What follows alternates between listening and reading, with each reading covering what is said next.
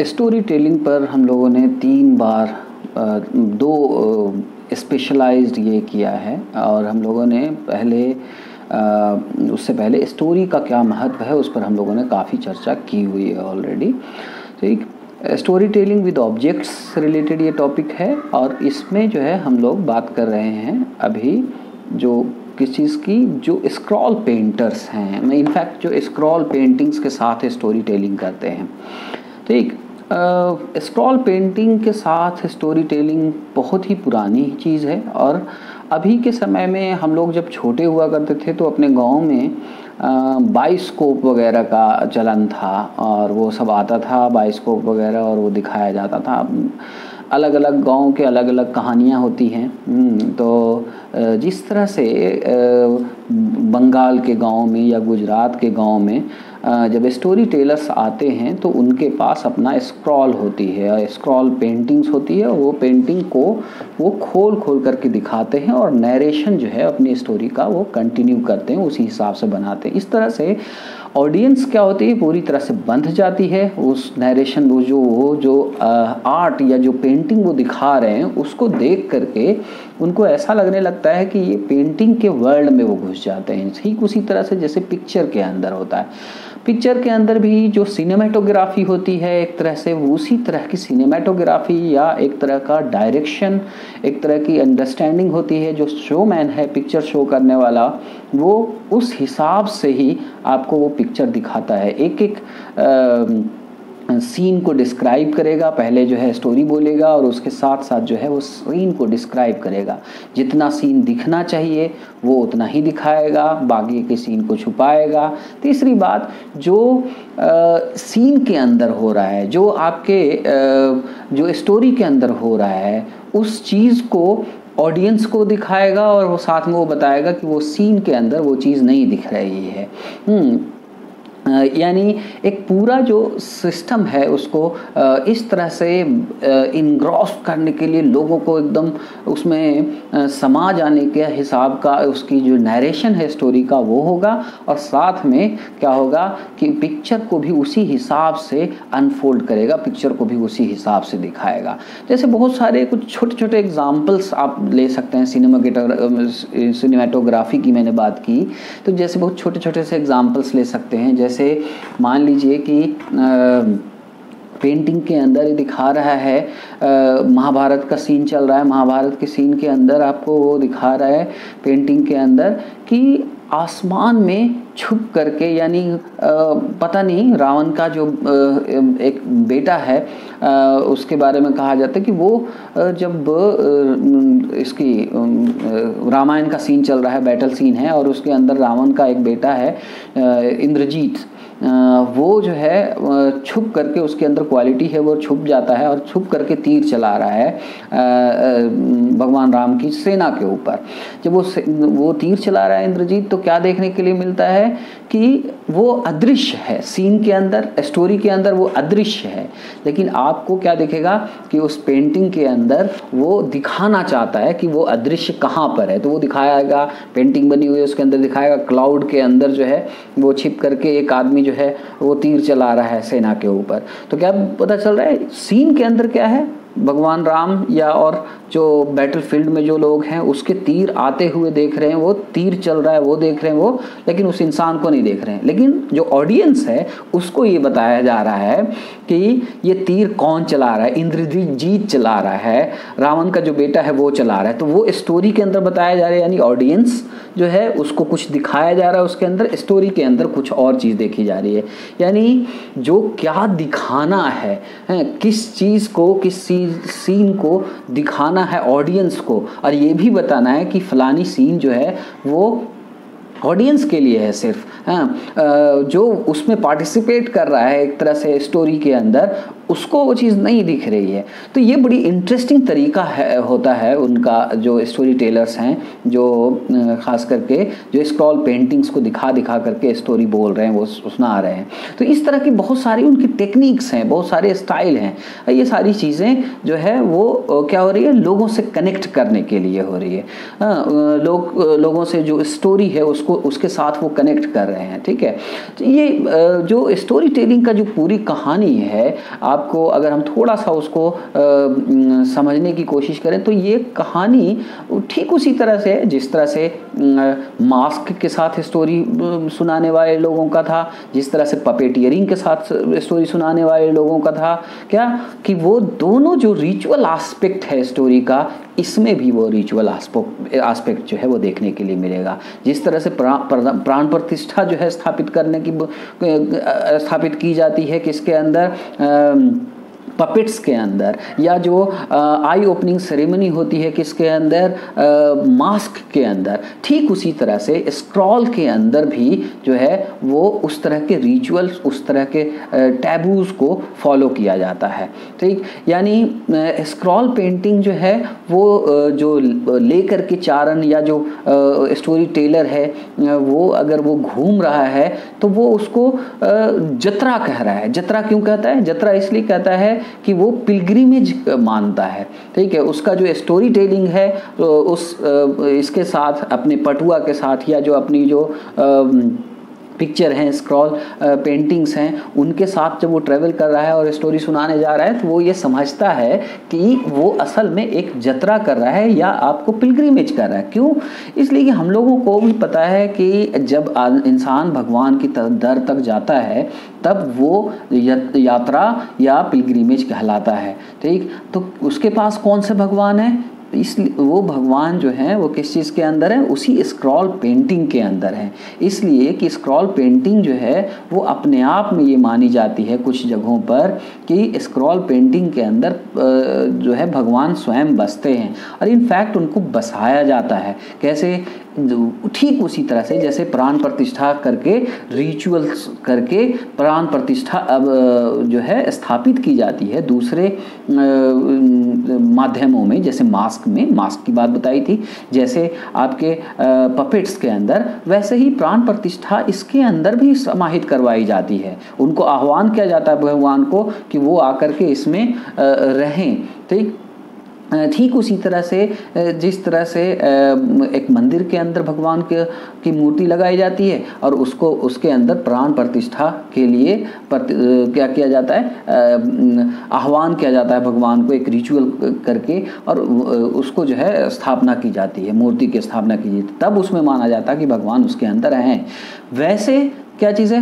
कोई भी मूर्ति जब तक वो रिचुअल ना हो जाए, तब तक वो उस मूर्ति की कोई अहमियत नहीं है, वो सिर्फ़ मूर्ति है, ठीक? तो इसी तरह से इसके अंदर भी कोई पेंटर है, मान लीजिए कि कोई स्टोरी टेलर है जो भोपा कहलाता है राजस्थान के अंदर खास करके तो और वो उसके लिए जो पेंटर है वो जोशी क्लैन का पेंटर है वो पेंटर ने पेंटिंग बना दी आ, बना दी स्क्रॉल पेंटिंग बना दी। लेकिन अब क्या चीज़ है कि जो भोपा है उसके अंदर रिचुअल करके भगवान का आह्वान करेगा जिन जिन भगवान की स्टोरीज उसके अंदर है उसके अंदर स्थापित करने के लिए। तो क्या चीज़ है कि आ, वही सारा रिचुअल टैबू जो आपको देखा था हम लोगों ने किस चीज़ के अंदर? मास्क वाले मास्क के अंदर कि जो मास्क स्टोरी टेलिंग के अंदर, जो मास्क की आई ओपनिंग सेरेमनी है, या फिर जो पपेट के अंदर प्राण प्रतिष्ठा स्थापित करने की जो सेरेमनी है, वही सारी सेरेमनी और वही सारे टैबूज जो है, यहाँ पर भी देखने के लिए मिलेगा। ठीक? तो ये टैबूज और ये सारी चीज़ें जो है, वो वही चीज़ है जिस तरह से उसमें देखा जा रहा है। हमें इसमें अगर मान लीजिए कि ये इनके जो कनवास हैं या जो पटुआ है, पट है जो जो पेंटिंग है स्क्रॉल पेंटिंग है, अगर वो मान लीजिए कि ख़राब हो जाती है, किसी तरह से क्षतिग्रस्त हो जाती है डैमेज हो जाती है तो उसका जो है, वो नदी के अंदर बहाया जाएगा, उसी तरह से जो, जिस तरह से कठपुतली को के साथ किया जाता था, उसको जो है, सम्मानपूर्वक एक तरह से उसका अंतिम संस्कार किया जाएगा। तो ये एक तरीका है, उस, उसका एक अपना एक रिचुअल आस्पेक्ट है, इसीलिए चूँकि उसको श्राइन माना जा रहा है ऐसी चीज़ माना जा रहा है जिसके अंदर भगवान रिसाइड करते हैं या उनका अंश एक तरह से रिसाइड करता है। तो ये ये चीज़ जो है वही जो हमने पुराने ट्रेडिशंस देखे और डिफरेंट ऑब्जेक्ट्स के साथ जो स्टोरी सुनाने वाले होते हैं वही सारे ट्रेडिशन जो है यहाँ पर भी देखने के लिए मिलते हैं। अब ये कितना पुराना है, ये कहाँ से आया है? अगर हम लोग इसको थोड़ा सा इसकी ऐतिहासिकता या हिस्टोरिसिटी को समझने की कोशिश करें तो क्या है थर्ड सेंचुरी एडी के अंदर कुछ हमारे पास जैना टेक्स्ट हैं, जिससे हमें पता चलता है कि पटचित्र का कॉन्सेप्ट जो है बहुत पुराना है। अर्ली जैना टेक्स्ट है भागवती सूत्र जिसके अंदर एक मखाली घोषक घोषाल की बात की गई घोषाल की बात की गई मख, मखाली घोषाल जो क्या है कि अज, एक जो आजीविका संत हैं मंक हैं या फिर आजीविका जो टीचर हैं बेसिकली एक बड़े मशहूर आजीविका टीचर हैं, शामनिक रिलीजन के अंदर जो जो एक ही समय में ऑलमोस्ट जो है वो सारे के सारे शामनिक रिलीजन जो है वो आ रहे हैं। उनमें से आजीविका एक सेक्ट है। पहला जैसे एक आपने सुना होगा शामनिक रिलीजन या सेक्ट के अंदर बुद्धिज़्म, जैनिज़्म और ऐसे ही आजीविकास। तो आजीविका, ये जैना टेक्स्ट के अंदर हमें आजीविकाओं के बारे में पता चलता है कि जो मखा, मंखाली घोषाल नाम के आजीविका टीचर हैं उस समय में, उन, वो कौन है? वो बताते हैं कि वो मनखा के पुत्र हैं, जिनका नाम मंखाली था। मंखा, मनखा क्या होता है? मनखा कहते हैं पिक्चर शोमैन को, ठीक? और उनका नाम, जो पिक्चर शोमैन थे, उनका नाम था मंखाली, और उनके पुत्र का नाम था क्या जो आजीविका टीचर है, मंखाली घोषाला। तो मंखाली घोषाला जो है वो की बात हो रही है जिसके, जिस, उसके डिस्क्रिप्शन में, मंखाली घोषाल के डिस्क्रिप्शन में हमें पता चल रहा है क्या कि जो मंखा या पिक्चर शोमैन जो हैं, वो उस टाइम में भी हुआ करते थे। यानी थर्ड सेंचुरी एडी के आसपास में चल रहा है। वहीं हमें एक और ये जैना टेक्स्ट जो है, भागवती सूत्र जो है, वो बताता है कि कुछ मेंडिकेंट्स के बारे में बताता है, कुछ ऐसे लोगों के बारे में बताता है जो मोनिस्ट्रीज के अंदर, जैना मोनिस्ट्रीज के अंदर विज़िट करते हैं, ठीक है? और भागवती सूत्र के अंदर बताया गया है कि इसी, इसके बाद, कि, इसके बारे में, कि जो स्पेशल टाइप के मेंडिकेंट होते हैं, जो क्या लेकर के आते हैं, जो जो पिक्चर लेकर के चलते हैं और वो पिक्चर्स दिखा करके स्टोरी बनाते हैं। ऐसे ही थर्ड टू फिफ्थ सेंचुरी के के का एक टेक्स्ट है मतलब थर्ड से फिफ्थ सेंचुरी एडी का माना गया है औपप्टिका सूत्र औपप्टिका सूत्र। उसके अंदर माना गया है उसके अंदर भी जो है, औपप्टिका सूत्र के अंदर मनखा का मेंशन मिलता है फिर से मिलता है उसके अंदर। वो भी जो है, एक जैना सेक्ट है, जो बताता है कि ये चैत्य के अंदर जो जो जैन मोनेस्ट्री होती है चैत्य उसके अंदर जो है, बहुत तरह के लोग आया करते थे। जिसमें डांसर्स होते थे रोप वॉकर्स हुआ करते थे। ठीक, उसके बाद जो है, वो, माघ होते थे, मगहा होते थे। मगहा कहते हैं बाढ़ बाढ़ को और वैसे ही जो है उसी में मनखा भी होते थे यानी पिक्चर शोमैन भी होते थे।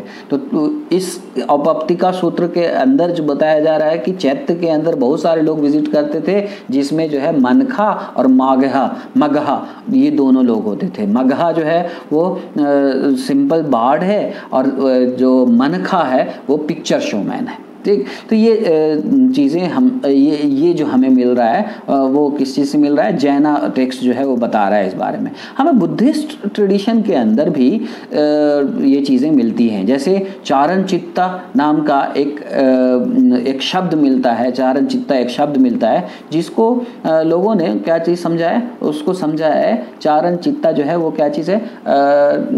मोबाइल पिक्चर जिसको कह सकते हैं। मोबाइल पिक्चर कह सकते हैं। और ये चारण चित्ता जो है, उसके बारे में बताया गया है कि बुद्धिस्ट जो टेक्स्ट है आपका, वो बता रहा है संयुक्त निकाय के ऊपर असल में जो कमेंट्री लिखी गई है, उस संयुक्त निकाय की कमेंट्री के अंदर ये लिखा गया है कि कुछ ब्राह्मण हेरिटिक्स होते हैं। वो ब्राह्मण हेरिटिक्स अब इसको हेरिटिक्स को आप लोग डिक्शनरी देख लीजिएगा, वैसे उसको मुनाफिक कहते हैं। ठीक है, वो निगेटिव टर्म है, जिस तरह से टर्म होता है विधर्मी उस टाइप का टर्म है। तो वो कह रहे हैं कि ब्राह्मण हेरिटिक्स जो हैं, वो क्या करते हैं? ये कौन कह रहा है? बुद्धिस्ट टेक्स्ट कह रहा है वो ये कह रहा है कि ब्राह्मण हेटिक्स हेरिटिक्स जो हैं, वो क्या करते हैं? एक पट्ट कोठका लेकर के चलते हैं। पट्ट कोठका। पट्ट कोठक जिसको, जिसके अंदर जो है, क्या होता है? लेख पटिवा होता है जिसके अंदर, यानी लेखा पटिवा होता है, यानी पट्ट कोठका के अंदर जो है लेख पटी होती है, लेख पटीवा होता है, जिस यानी ये दोनों चीज़ें और वो क्या करते हैं, वो दिखाते हैं उसको और वो दिखा दिखा करके स्टोरी बताते हैं कि किस तरह से नर्क में उनके साथ अगर कोई धर्म के अनुसार कार्य नहीं करेगा, काम नहीं करेगा तो नर्क में उसके साथ क्या होगा?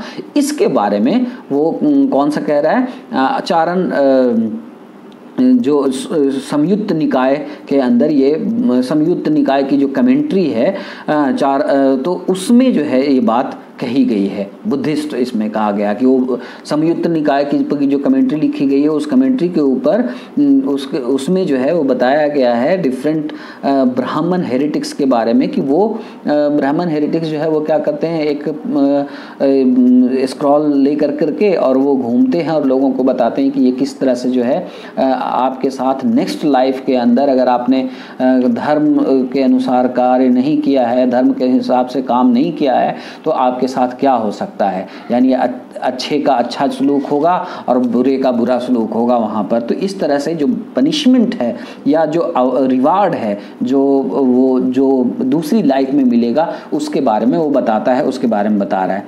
तो यानी क्या चीज़ें, यहाँ पे दो चीज़ें हमें मिल रही हैं कि स्क्रॉल पेंटर से स्क्रॉल पेंटिंग के साथ स्टोरी टेलर्स जो हैं, वो उस समय में भी थे, संयुक्त निकाय के सॉरी समुद्र हाँ संयुक्त निकाय की जो कमेंट्री लिखी गई है उस समय में भी थे और वो क्या करते थे? उसकी थीम भी पता चल रही है। हमें थीम क्या है? थीम ये है कि जो यहाँ से मरने के बाद हेल के अंदर पनिशमेंट किस काम के लिए क्या होगी? और अगर हेवन की बात होती है तो उसकी जो रिवार्ड हैं, वो किस तरह के होंगे?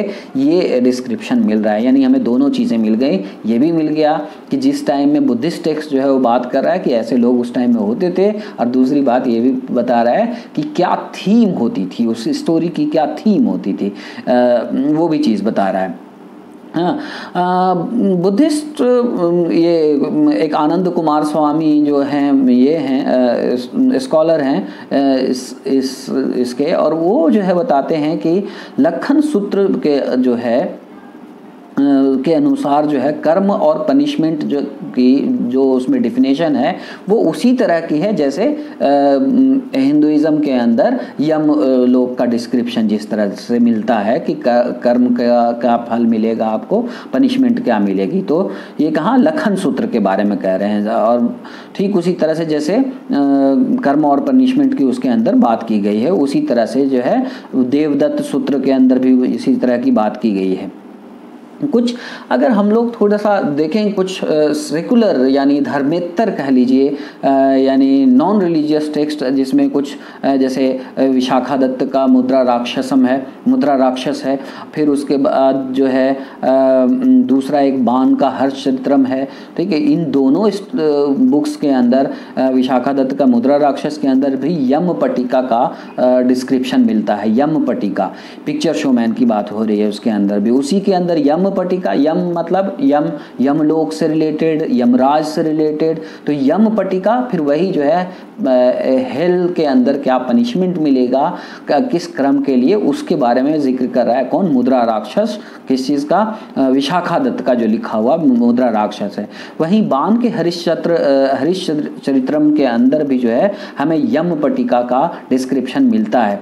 इसका मतलब क्या है कि हर्ष चरित्र के अंदर भी वही वाइसेस के लिए जो पनिशमेंट मिलेगी और वर्चूज़ के लिए जो रिवार्ड मिलेगा, वो उसके ऊपर भी डिस्कस उसके अंदर भी किया गया है कि यानी ये थीम जो है, यम की या जो स्क्रॉल पेंटर्स जो स्टोरी सुनाते थे, वो थीम बहुत पुरानी है और मुद्रा राक्षस के अंदर भी उस थीम का ज़िक्र मिलता है और आपके बाद में हर्ष चरित्र के अंदर भी हर्ष चरित्र जो बान की बान की लिखी हुई है, उसके अंदर भी मिलता है। टेंथ सेंचुरी के अंदर कन्नड़ा एक कलेक्शन है वद्धारणे। वद्धारणे के अंदर जो कन्नड़ ये है, उसके अंदर एक स्टोरी मिलती है सुकुमार स्वामी की। सुकुमार स्वामी की जो स्टोरी है, उसके अंदर वो बताते हैं उस स्टोरी के अंदर बताते हैं कि किसी तरह से एक ब्राह्मण जो है अपनी बेटी के साथ कहीं जा रहा है किसी भी इसमें वहाँ पर उसको एक व्यक्ति मिलता है जिसको राजा के लोग जो है उसका उसको उसको पनिशमेंट दे रहे हैं। उसको जो है खींच करके ले ले जा रहे हैं, फांसी के तख्ते के ऊपर उसको एक तरह से मतलब पनिशमेंट के लिए ले जा रहे हैं। जब पनिशमेंट के लिए ले जा रहे हैं तो पता किया कि ये कौन आदमी है? तो पता चला कि ये व्यक्ति जो है वो क्या है? ये वही एक व्यक्ति है जो क्या करता है? स्क्रॉल पेंटर है मतलब पिक्चर शो मैन है बेसिकली पिक्चर शो मैन है। पिक्चर शो मैन जो है उसको जो है ले जाया जा रहा है। किस लिए?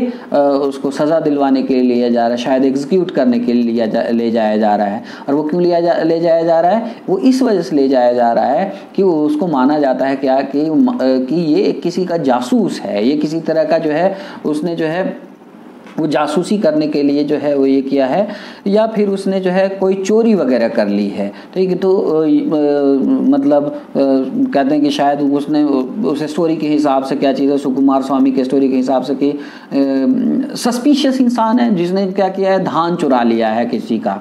तो बेसिकली क्या चीज़ है, उसके लिए इतनी बड़ी सज़ा नहीं हो सकती। तो क्या चीज़ है कि वही जो सस्पिशन है कि इस पे इटिनरेंट जो स्टोरी टेलर्स हैं, जो जो एक जगह से दूसरी जगह जा जा करके स्टोरी टेलिंग करते हैं। उसके अंदर अक्यूज़ किया गया है कि क्या होता है कि वो अपनी स्टोरी टेलिंग कर रहा है, जिससे जो है सारे लोग जो है उनका ध्यान उनके ऊपर चला जाता है। और जब ध्यान उनके ऊपर चला जाता है तो वो क्या करेगा? वो उसके जो आदमी हैं, वो चोरी कर लेते हैं। ठीक है तो मेला में, जैसे मेले में होता है कि मेले में जो है वो कोई खेल दिखा रहे हैं, भीड़ जमा हो गई है और धीरे से सब पॉकेट मारी कर रहे हैं। तो वही कॉन्सेप्ट जो है आप समझ लीजिए कि सुकुमार स्वामी की स्टोरी के अंदर भी दिखाया जा रहा है इसके बारे में। तो यानी क्या चीज़ है कि पिक्चर शोमैन हो पपेटियर हो या मास्क स्टोरी टेलर हो उनको शक की निगाह से देखा जा रहा है। इस स्टोरी के हिसाब से भी और हमने पहले भी बात की थी कि उनको शक की निगाह से देखा जाता है कि वो क्या कर सकते हैं स्पाइंग कर सकते हैं या आ, आ, किसी तरह का ये आ, निगेटिव एलिमेंट है। लेकिन एक चीज़ ध्यान में रखिएगा कि साथ में वो स्टोरी टेलर्स जो हैं, उनको शक की निगाह से भले ही देखा जा रहा हो, लेकिन वो रिचुअल आस्पेक्ट भी उनका इंपॉर्टेंट है। उनको जो है, ये माना जाता है कई दफ़ा कि वो उनके उस परफॉर्मेंस से जो है वो गुड ओमेन आएगा इसके अंदर, गाँव के अंदर। कोई जो बुरी आत्माएँ हैं, वो चीज़ें जो है वो कोई बुराई जो है वो धीरे धीरे ख़त्म हो जाए मतलब ख़त्म हो सकती है। ठीक, जैसे इपिडमिक वगैरह की बात की थी कि वो जो है, अगर इपिडमिक आया हुआ है, ये परफॉर्मेंस करवाया जाए तो वो ख़त्म हो जाएगा। तो इस तरह की रिचुअल्स इस तरह के जो रिचुअल आस्पेक्ट हैं, वो भी माने जाते हैं। सिर्फ़ उनको सस्पिशन की निगाह से ही नहीं देखा जा रहा है, बल्कि इन सब चीज़ों में बिलीव किया जाता है और वो वो भी एक फैक्ट है हम्म।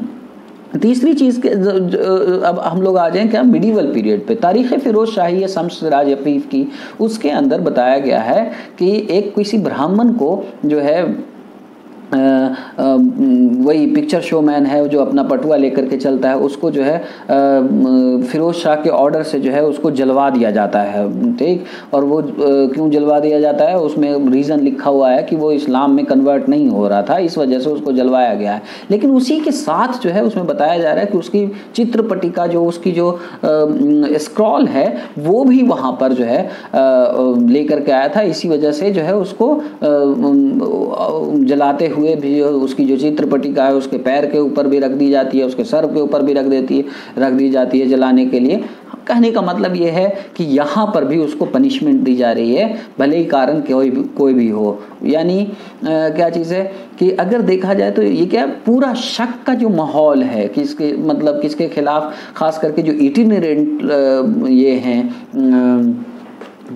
शोमैन हैं या स्टोरी टेलर हैं, उनको जो है शक की निगाह से देखा जाता है। तब भी जब एंशियंट पीरियड के अंदर हम लोग बात कर रहे हैं या और मिडिवल पीरियड के अंदर बात करें तो दोनों के अंदर भी देखने के लिए मिलता है। लेकिन हमें क्या इन्फॉर्मेशन मिल रही है? हमें ये भी इन्फॉर्मेशन मिल रही है साथ में कि पिक्चर शोमैन उस पीरियड में भी हुआ करते थे मिडिवल पीरियड तक के भी हम लोगों को देखने के लिए मिलता है। ठीक? यानी कुल मिलाकर के देखा जाए तो दो बातें साफ़ हो रही हैं यहाँ पर। पहली बात जो है वो ये कि एंशियंट पीरियड में हमें जो चीज़ें मिली हैं, उससे हम ये पता चल रहा पता कर सकते हैं कि थर्ड सेंचुरी ऑनवर्ड्स जो है, हमें मिडिवल पीरियड तक के आसानी से पिक्चर शोमैन की चीज़ें मिल जाती हैं। और दूसरी बात जो पता चल रही है कि उनकी जो थीम होती है पिक्चर शोमैन की, वो जनरली क्या होता है, यम से रिलेटेड यमलोक से रिलेटेड या पनिशमेंट और इससे रिलेटेड रिवार्ड से रिलेटेड कि मरने के बाद जो है, जो पनिशमेंट मिलेगा और जो रिवार्ड मिलेगा, उसके बारे में जो है ये पूरा डिस्कशन मतलब पूरा जो थीम है, ये दोनों चीज़ें पता चल रही हम लोगों को। दूसरी चीज़ क्या चीज़ है? कई दफ़ा उन्हीं थीम के अंदर जो है, अब हम लोग आज की डेट में जब देखते हैं या मॉडर्न टाइम्स के अंदर देखते हैं तो अलग अलग क्षेत्रों में अलग अलग थीम्स को परफॉर्म किया जाता है। हमने पहले भी बात की है कि मेन थीम में से ये इपिक जो है, वो भी एक इंपॉर्टेंट थीम होती है। यानी रामायण है, महाभारत है, या पुरानी ट्रेडिशन की जो बहुत सारी स्टोरीज़ हैं तो उस, उन सबको हम लोगों ने एक ग्रुप में रखा था। वो क्या था? पुराण पुराणिक स्टोरीज़ तो चाहे वो महाभारत की स्टोरी है, चाहे आपके रामायण की स्टोरी है, या डिफरेंट पुराणों से ली गई स्टोरीज़ है। माइथोलॉजी जो है, वो उनको हम हिंदू माइथोलॉजी के कैटेगरी में या फिर हम लोग पुरानी के स्टोरीज़ के रूप में लेते हैं। दूसरा जो था बुद्धिस्ट ट्रेडिशन और जैना ट्रेडिशन की जो वे स्टोरीज़ हैं, उनकी भी बात करते हैं। ठीक और तीसरा जो ट्रेडिशन होता है वो लोकल ट्रेडिशन की बात होती है। तो हम लोगों को यहाँ पर क्या देखने के मिल रहा है? आ, लोकल ट्रेडिशन में जैसे आ, लोकल हीरोज़ के बारे में बात की गई हो या इस तरह की चीज़ें। तो आ, अब क्या चीज़ है कि ये सारी जो तीनों तरह की जो थीम की बात की गई है स्टोरी के अंदर वो तीनों तरह के थीम जो है वो इसमें भी देखने के लिए मिलेंगे। लेकिन इसमें एक एडिशन है एक तरह से वो ये है कि यम लोग के बारे में और रिवार्ड और पनिशमेंट के बारे में ज़्यादा बात की जा रही है और साथ में रामायण, महाभारत और डिफरेंट पुराणों के जो है स्टोरीज़ के बारे में बात की जाती है। ठीक सुनाई जाती है स्टोरी ये सुनाई जाती है। तीसरा जो है, अब इसमें क्या है रीजनल वेरिएशंस भी हैं बहुत सारे। उन सब चीज़ के अलावा एक वेरिएशन जो है हम लोगों ने देखा वो क्या कि यहाँ पर यम वाली स्टोरी जो है ज़्यादा पॉपुलर है। दूसरी बात क्या है रीजनल वेरिएशंस पेंटिंग के अंदर भी होती हैं। पेंटिंग के अंदर जैसे महाराष्ट्र के अंदर चित्रकाठी पेंटिंग होती है। उसके अंदर क्या होता है कि एक पेंटिंग का पूरा ब्लॉक होता है इसमें और एक चार खाने में जो है पेंटिंग बनी हुई होती है। सीधा ऐसा स्क्रॉल नहीं होता कि ऊपर से लेके नीचे तक के खींच दिया, वो स्क्रॉल नहीं होता। या फिर हॉरिजॉन्टल हॉरिजेंटल या वर्टिकल स्क्रॉल ना होकर के क्या है, वो जो है एक पूरा बोर्ड सा बना हुआ है, उसको चार खाने में बांटा हुआ है और उस हिसाब से चित्रकाठी पेंटिंग महाराष्ट्र के अंदर उस हिसाब से दिखाई जाती है। ठीक अब वैसे ही जो है अलग अलग इसके अंदर यम पटिका का जो आपको बताया वो ये गुजरात के अंदर जो ट्रेडिशन होता है वो ग्रोडा ट्रेडिशन है गुजरात का। उसके अंदर क्या है? उसके अंदर जो है वो आ, क्या कहते हैं एक स्क्रॉल की की शक्ल में पेंटिंग है। ठीक? और यहाँ भी ग्रोडा पेंटिंग के अंदर भी ये पॉपुलर बड़ी थीम है। कौन सी? यम वाली थ्योरी जो है वो स्टोरी जो है वो ज़्यादा पॉपुलर होती है। ठीक? ऐसे ही जो है आप देखिएगा क्या कि चाहे वो गुजरात का ये हो, चाहे आपका यहाँ का हो गुजरात का जो कौन सा है गुजरात का हो, चाहे वो आपका महाराष्ट्र का हो, ठीक गरोड़ा ट्रेडिशन हो, गुजरात का या ये हो, ये सारे ट्रेडिशन में आप एक चीज़ देखिएगा कि अलग अलग स्टाइल अलग अलग है। थीम की कहीं पर कोई एक थीम ज़्यादा होगी, कहीं कहीं पर जो है दूसरी थीम ज़्यादा होगी। तो इस तरह की चीज़ें देखने के लिए आपको मिलेगी।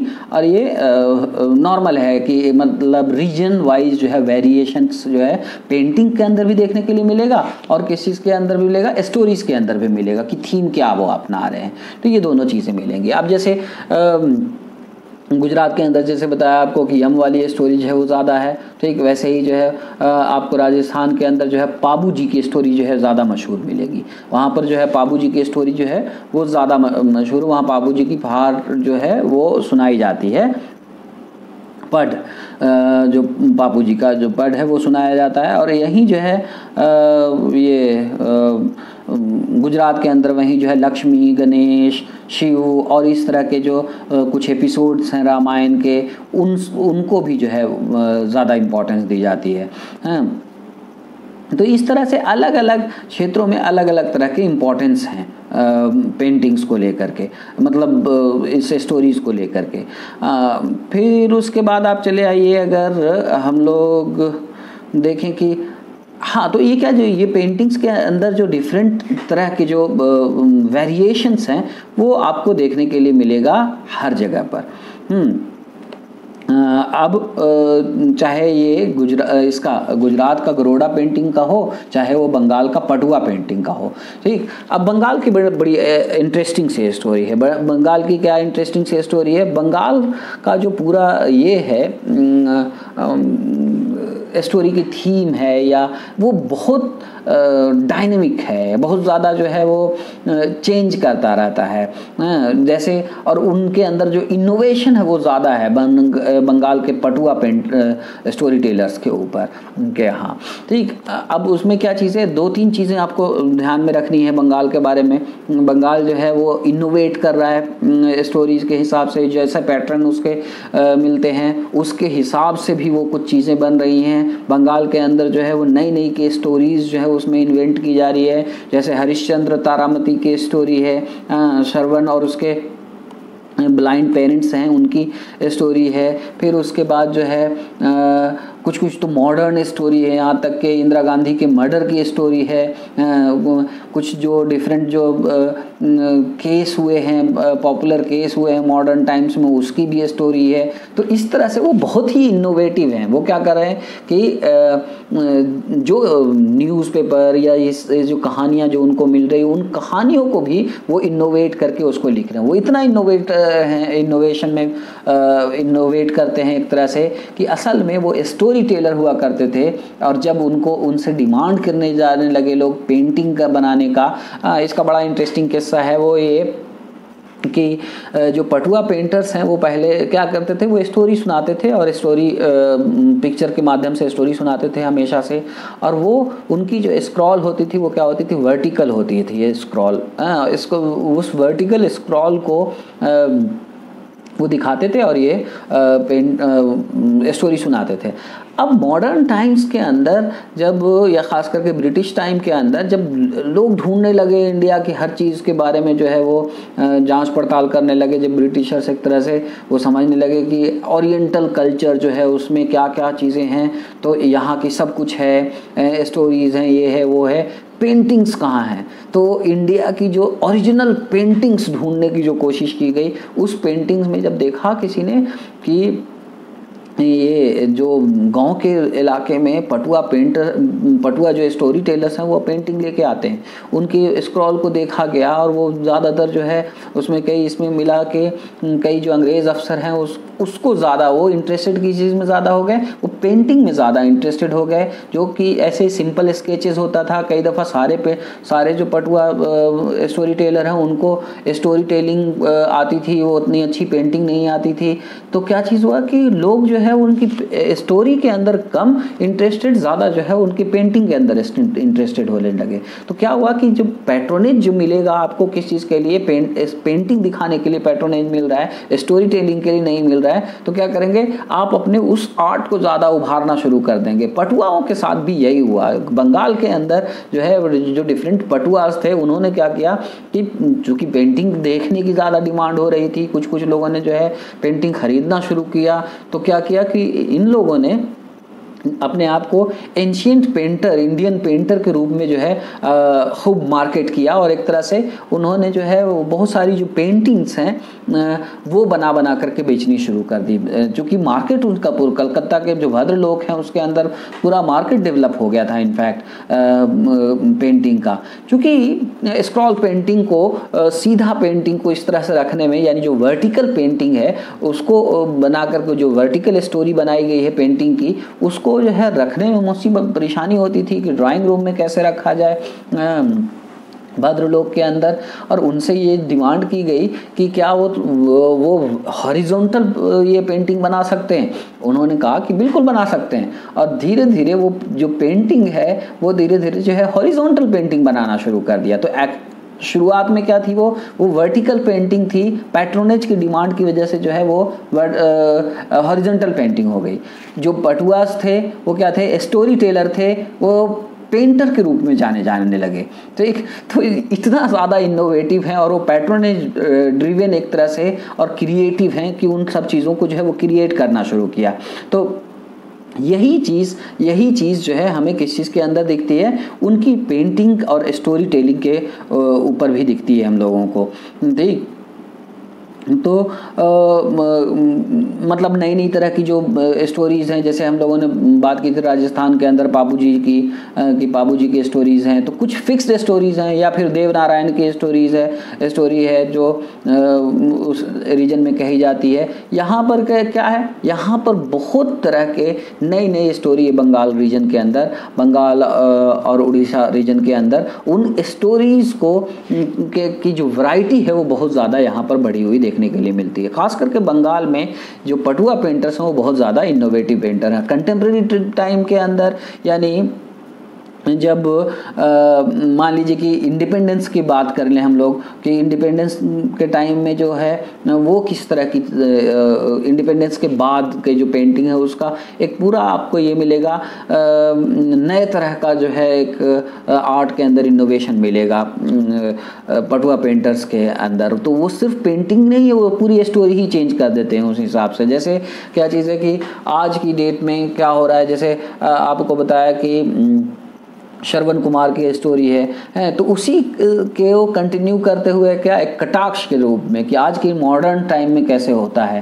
ठीक मॉडर्न टाइम क्या चीज़ है मॉडर्न मॉडर्निटी क्या लेकर के आया है, उसके बारे में वो बात करने सिनेमा हॉल जाने से लोग कैसे ख़राब हुए हैं, ठीक, उसके बाद जो है फ़िल्में देखने की क्या क्या क्या नुकसान है, उसकी बात कर रहे हैं। किचन के अंदर जो रोल चेंज हो गया है, उसकी बात करते हैं। मॉडर्निटी की वजह से जो मॉडर्निटी इनफैक्ट आई है, उसकी उसकी वजह से जो एक जो कॉमन ग्रीवांसेज होती हैं कि जो वैल्यूज़ हैं, वो अलग हो गए हैं वैल्यूज़ बदल गए हैं कि इसकी क्या कहते हैं और लोगों के ऊपर सिनेमा का बहुत ख़राब असर पड़ा है, लोग तो उन सब चीज़ों के ऊपर भी वो बात कर रहे हैं, वो पेंटिंग भी बना रहे हैं और उसके बाद जो है उसी से रिलेटेड स्टोरीज़ भी जो है बना रहे हैं। अब उसमें जैसे एक पेंटिंग देखिए क्या चीज़ है कि ससुर जी खड़े हुए हैं और जो उनकी बहू है, वो उनका पैर छू रही है। ये बैड इफ़ेक्ट बताया गया है किस चीज़ का सिनेमा देखने का और इस तरह से। तो इस तरह की जो एक टिपिकल आपने सुना होगा कि आज की मॉडर्निटी का जो है किस तरह से ख़राब कर रही है, वो सारी बातें जो है वो पेंटिंग में, वो उसमें पेंटिंग में दिखा रहे हैं, वो कह रहे हैं और वो असल में जो है वो उस हिसाब की स्टोरी नई स्टोरीज़ बना रहे हैं। इतनी नई स्टोरीज़ बना रहे हैं कि आप देखिए, इंदिरा गांधी का जो मिदनापुर रीजन है, बंगाल के अंदर, मिदनापुर रीजन के अंदर एक पूरा स्क्रोल पेंटिंग है और स्टोरी है जिसके अंदर इंदिरा गांधी के मर्डर को डिपिक्ट किया गया है और उसकी स्टोरीज को बनाया गया यानी क्या चीज़ है? जो मॉडर्न टाइम में जो चीज़ें उनको, उनके पास पहुँच रही हैं अखबार से न्यूज़ के डिफरेंट माध्यम से या फिर मास मीडिया से एक तरह से कह लीजिए, और उनसे जो जो चीज़ें उनके पास पहुँच रही हैं तो वो फैक्ट है न्यूज़ है, और उसको वो माइथोलॉजी बना देते हैं। ठीक उसको जो है, वो स्टोरी बना दे रहे हैं और वो फैक्ट को माइथोलॉजी बना करके किस तरह से वो स्टोरी रिलेट कर रहे हैं, किस तरह से बना रहे हैं। अब जैसे, मान लीजिए कि इंदिरा गांधी की जो मर्डर की स्टोरी है, इंदिरा गांधी को दिखाना है तो वो क्या करेंगे? सबसे पहले इंदिरा गांधी की पिक्चर दिखाएँगे। ठीक अब पिक्चर दिखाएँगे, उसके बाद फिर पेंटिंग शुरू करेंगे। और उसके अंदर क्या होगा? किसी गॉड की पिक्चर होती है तो उसको कैसे पहचानते हैं? आ, कुछ स्पेशल उसके अंदर डिपिक्ट किया जाता है जैसे सरस्वती के हाथ में वी, वीणा होगी ठीक? जैसे शिव जी की अगर बात होगी तो वो जटा होगी जटा के अंदर गंगा होगी सांप लिपटा हुआ होगा। ये कुछ सिंबल्स हैं ठीक? उनसे दर्शाया जाता है कि किस भगवान की बात हो रही है। अब इंदिरा गांधी की बात की जाएगी तो किससे दर्शाया जाएगा? कैसे दर्शाया जाएगा? वहाँ पर सामने एक माइक रखा जाएगा। इंदिरा गांधी भाषण देती हैं, वो नेता थी, ठीक? तो इस तरह से डिपिक्शन जो है वो इस तरह का है। मतलब पेंटिंग के अंदर वो कुछ, आप देखिएगा अपने आर्टिकल के अंदर कुछ पेंटिंग्स दी हुई हैं, वो पेंटिंग्स जो है वो वो पेंटिंग्स जो है वो सिम्बो एक तरह से सिंबॉलिक हैं मतलब एग्जैक्ट उसका कोई, वो नहीं उतारा हुआ है। आप सिंबल्स से पहचानते हैं पेंटिंग को। तो इंदिरा गांधी के सामने एक माइक दिया हुआ है तो आप ये समझ जाइए कि वो इंदिरा गांधी की बात हो रही है। उस पूरी स्टोरी को जो है वो बता रहे हैं कि वो कैसे मीटिंग ले रही हैं, क्या हो रहा है, ये सारी चीज़ें बताई गई हैं उसके अंदर। फिर उस पेंटिंग की जो है कहानी इसी तरह से आगे बढ़ती है। वैसे ही जो है वो बंगाल के अंदर कुछ किसी का मर्डर हो गया था किसी नई बहू ने जो है वो ड्राइवर का मर्डर कर दिया था। उस केस से रिलेटेड जो है वो स्टोरी जो है, उसको स्टोरी बना करके जो है उसके अंदर पेंटिंग में जो है दर्शाया गया है पटुआ पेंटर्स ने दर्शाया है। नाइन इलेवन हुआ था, आपने नाइन इलेवन सुना होगा। तो जो नाइन इलेवन हुआ था आपके जो ट्रेड टावर को जो गिराया था तो इससे क्या कहते हैं जहाज़ मार करके तो नाइन एलेवन बड़ा मशहूर ये है। उस उस पर पूरी स्टोरीज जो है स्टोरी बनाई हुई है, पूरा स्क्रोल पेंटिंग बनाई हुई है और उसका उस, उसका भी डिपिक्शन उसके अंदर आपकी जो आर्टिकल है उसके अंदर देखिएगा कि बड़ी सी पेंटिंग बनाई हुई है उसके अंदर दी हुई है। तो एक इंटरेस्टिंग बात ये है कि आपको देखने के लिए मिलेगा कुछ पेंटिंग्स के अंदर इस तरह का है कि भगवान शंकर जो है वो चले जा रहे हैं उनको स्कोट कौन कर रहा है? पुलिस मैन जो है स्कोट कर रहा है। मतलब पुलिस मैन जो है पीछे पीछे चला जा रहा है उनको जो है वो स्कोट कर रहा है। किसके साथ? भगवान शंकर को स्कोट कर रहा है। तो एक अजीब मॉडर्निटी फिर उसके बाद जो ये है उसको यानी जो बिलीफ है उसको और दोनों को जो ला करके एक स्पेस में खड़ा कर दे रहे हैं। टाइम और स्पेस का कोई ख़ास ये नहीं रख रहे हैं। यानी क्या चीज़ है कि भगवान शंकर अगर मॉडर्न टाइम्स में आए हैं तो किस चीज़ में वो जा रहे हैं? उनको स्कोट कर रहा है कौन? पुलिस मैन स्कोट कर रहा है। तो इस तरह की चीज़ें जो है वो देखने के लिए मिलेंगी। आपको नए नए इनोवेशन जो है वो देखने के लिए मिलेंगे। हम्म। सुनामी आई थी आ, आ, उसको डिपिक्ट किया गया। 2004 में सुनामी जो आई थी उसके अंदर जो लोग मरे थे उससे जो रिलेटेड स्टोरीज हैं उनको डिपिक्ट किया गया है। ठीक? और इन सब के साथ जो है वो यम वाली स्टोरी नहीं खोती है। यम वाली स्टोरी यमलोक वाली स्टोरी पनिशमेंट और रिवार्ड वाली जो स्टोरी है वो फाइनल जो है वो स्टोरी वो देखने के लिए मिलती है। वो फाइनल आपको स्टोरी में वो स्टोरी अपने आप आ जाएगी। तो कहने का मतलब क्या चीज़ है कि जो आ, हमारे यहाँ स्टोरी टेलिंग का जो ट्रेडिशन है, वो बहुत पुराना है। ठीक? उसमें जो रिचुअल्स टैबूज जो उसके साथ आते हैं, वो हैं। स्क्रॉल पेंटिंग के साथ भी।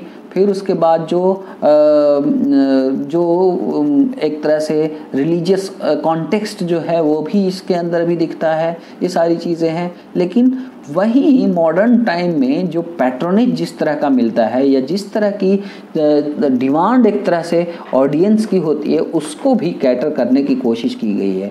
कहीं पर लोकल हीरो पाबू जी को सेलिब्रेट किया जाता है इन पेंटिंग्स के थ्रू और इन स्टोरीज़ के थ्रू कहीं पर देवनारायण को किया जा रहा है ये आ, उनको वेनरेट किया जा रहा है। वहीं जो है कहीं कहीं पर जो लोकल स्टोरीज़ हैं यानी बंगाल के अंदर ख़ास करके जो लोकल घटनाएँ घटी हैं, वो मॉडर्न टाइम्स के अंदर जो कॉन्फ्लिक्ट है एक एंशियंट सोच का, पुरानी सोच और मॉडर्न सोच का जो कॉन्फ्लिक्ट है, उसको दर्शाया जा रहा है। तो जो इस तरह से जो कंटेम्प्रेरी आर्ट है, ये कंटेम्प्रेरी सिचुएशन है, उसको भी आर्ट में दिखा, दिखाया जा रहा है। कई दफ़ा क्या है कि यहाँ पर हम लोगों को देखने के लिए मिल रहा है कि इन ट्रेडिशंस के साथ साथ क्या है कि जो पैट्रोनेज देने वाला है, वो भी अपने हिसाब से एक तरह से मोड़ ले रहा है। वो पैट्रोनेज जो है, जैसे जिस चीज़ को पैट्रोनेज मिल रही है, उसको जो है इम्पोर्टेंस ज़्यादा मिल रहा है और उसके हिसाब से पूरे पैट्रोनेज को मतलब पूरे आर्ट फॉर्म को ही मोड़ दिया जा रहा है। जैसे एग्जांपल दिया कि पटुआ जो हैं वो क्या है? स्टोरी टेलर्स हैं। पिक्चर स्टोरी टेलर्स हैं। मतलब पिक्चर शोमैन भी हैं और स्टोरी टेलर्स भी हैं। मतलब स्टोरी टेलर मेन है वो पिक्चर वाला काम जो है वो बाद में। मतलब जो पिक्चर है, जो जो पेंटिंग है, वो क्या है? सप्लीमेंट करती है किसको? स्टोरी टेलिंग को। लेकिन क्या चीज़ है, जब पेट्रोनेज में पेंटिंग को ज़्यादा इम्पोर्टेंस जब मिलने लगा, जब ऑडियंस जो है वो ज़्यादा पेंटिंग के ऊपर ध्यान दे रही है तो इन्होंने क्या किया? उसी हिसाब की पेंटिंग भी बनानी शुरू कर दी। पेंटिंग बनाना सीख भी गए और जहाँ हॉरिजॉन्टल जहाँ वर्टिकल पे स्क्रॉल्स होते थे पेंटिंग के, उसको चूँकि ड्राइंग रूम में सेट करना था तो उसको वर्टिकल बना दिया। और वो वर्टिकल जो है वो पटवाज ने खुद बना दिया। तो इस तरह से क्या देखने के लिए मिल रहा है कि जो ओल्ड आर्ट फॉर्म है, अगर किसी तरह का आर्ट है, वो पैट्रोनेज के हिसाब से, जो पैटर्न्स जिस तरह का चाहते हैं, उस हिसाब से भी बदल रहा है और बदल जाता है। मॉडर्न टाइम्स में बहुत सारी चीज़ें उसको अकोमोडेट की जाती हैं। तो यही था आपका इसके अलावा जो है ये एक तरह से लास्ट लेक्चर है आपका इस इसमें। इससे ज़्यादा आपको आगे कुछ ये नहीं, हमारा सिलेबस एक तरह से ख़त्म हो गया है। फिर भी जब भी ज़रूरत होगी, हम अवेलेबल रहेंगे और हम लोग आपस में फिर बात करेंगे। Thank you